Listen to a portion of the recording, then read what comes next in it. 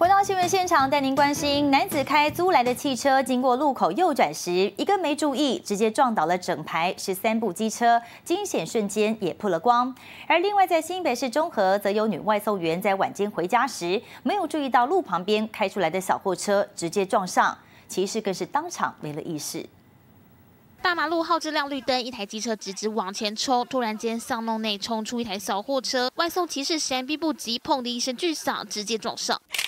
机车车头破损不堪，碎片掉满地，现场一片狼藉。事件发生在新北市中和区二十九号晚上七点多，当时小货车正要去土城送货，从巷弄右转开出来，机车骑士没注意，刹不住，直接撞上。女外送员头部重击，当场昏迷，送医抢救。李女头部遭撞击。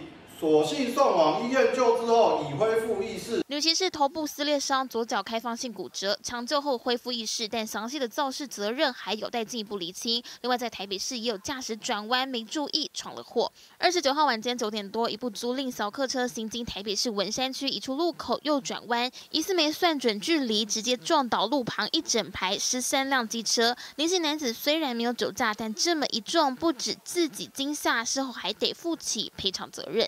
记者潘玉做总领采访报道。